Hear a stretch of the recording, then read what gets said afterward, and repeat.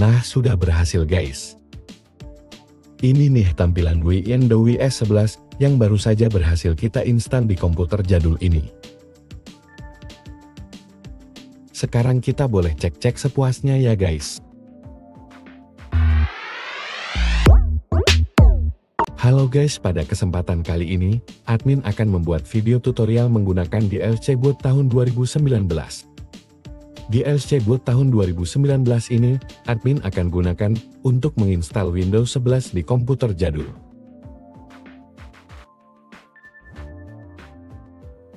Langkah yang pertama kita harus mengatur partisi pada harddisk menggunakan partition wizard.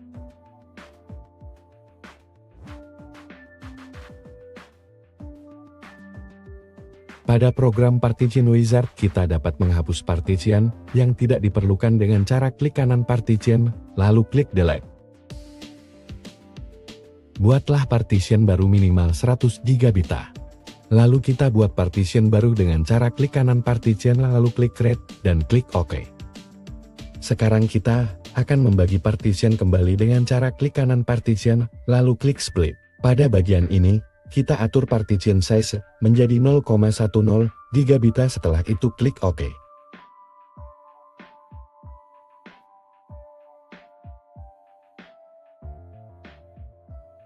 Lalu kita ulangi lagi langkah, yang sebelumnya klik kanan partition klik split kita buat kembali partition size menjadi 0,60 GB setelah itu klik OK.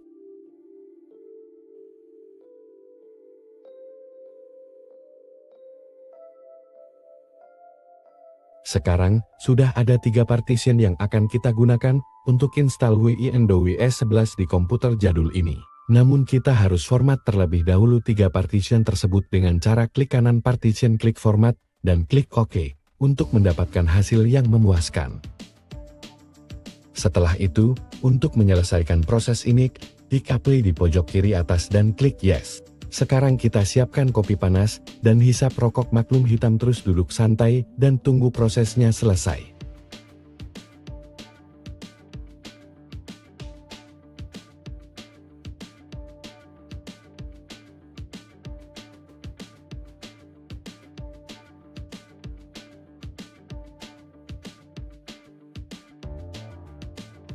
Setelah selesai seperti ini klik OK lalu keluar dari program Partition Wizard.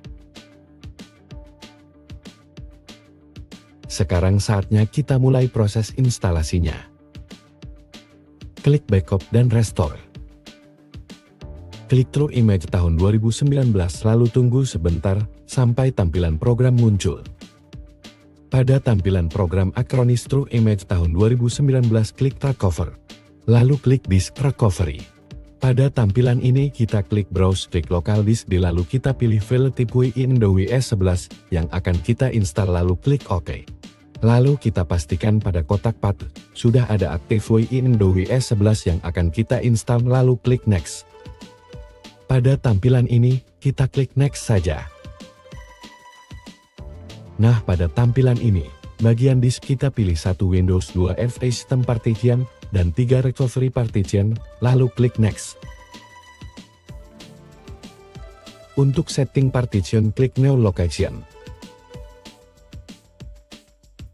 Pilih dan klik partition pertama size 204 MB, lalu klik Accept.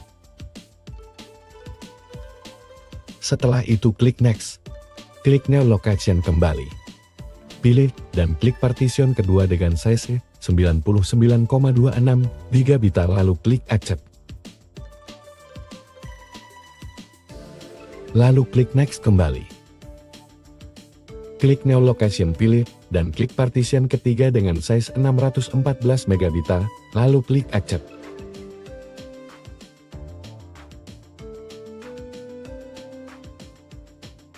Dan klik next. Inilah daftar dari partition-partition yang telah kita atur tadi.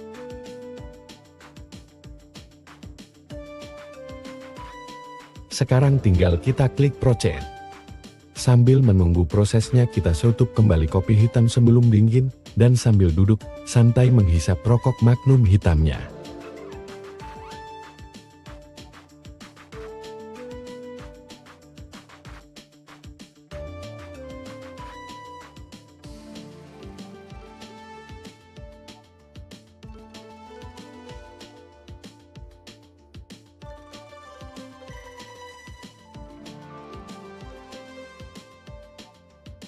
Kalau tampilannya sudah seperti ini, kita tinggal klik restart maka komputer akan merestart sendiri. Nah sekarang proses booting Windows WS 11 sudah muncul kita tunggu sejenak.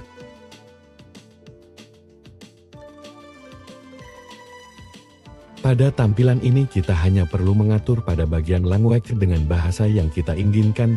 Di sini admin memilih bahasa Indonesia.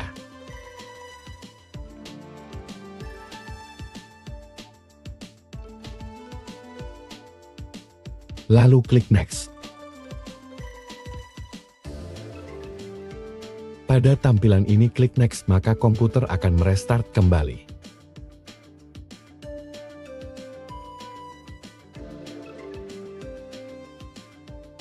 Dan sekarang logo Windows WS 11 sudah mulai muncul.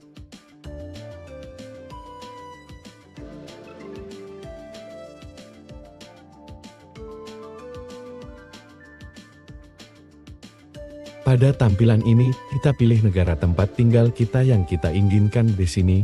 Admin memilih negara Indonesia sebagai wujud cinta tanah air.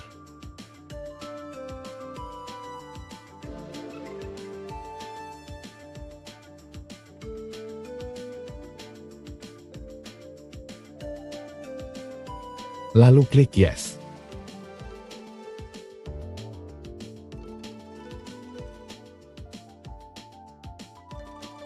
Pada tampilan ini, admin langsung pilih ya saja.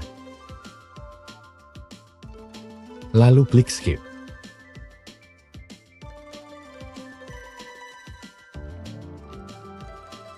Pada tampilan ini, karena admin tidak memiliki jaringan internet admin pilih dan klik I don't have internet. Klik continue with limited 1.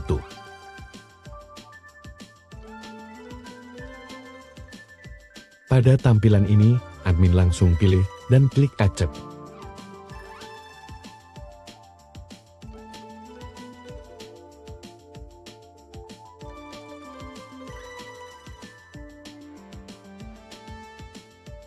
Pada tampilan ini, kita dapat membuat nama untuk komputer kita di sini. Admin membuat namanya Windows WS11 PC.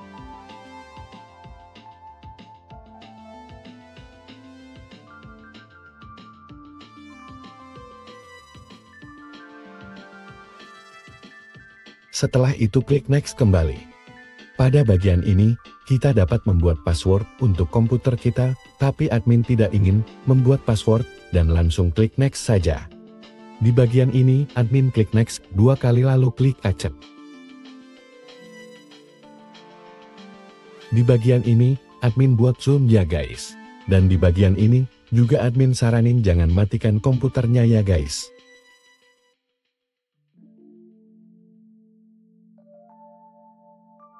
Nah sudah berhasil guys. Ini nih tampilan Windows WS 11 yang baru saja berhasil kita instan di komputer jadul ini. Sekarang kita boleh cek-cek sepuasnya ya guys.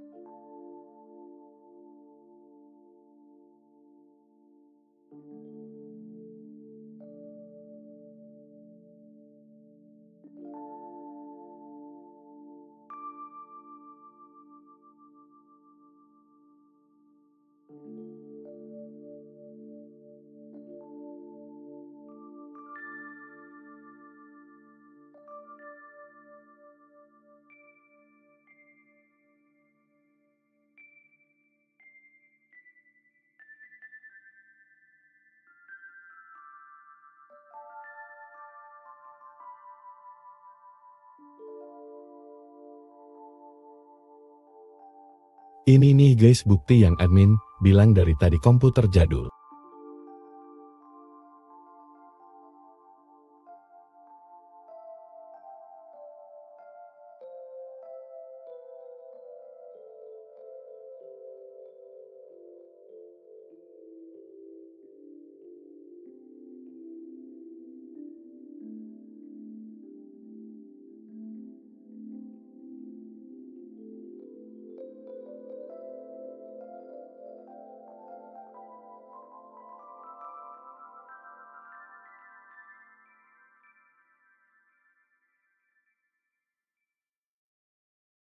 Oke guys sekian dulu video tutorial dari admin ya guys. Sampai jumpa di video tutorial selanjutnya. Sekarang komputernya admin matiin ya guys.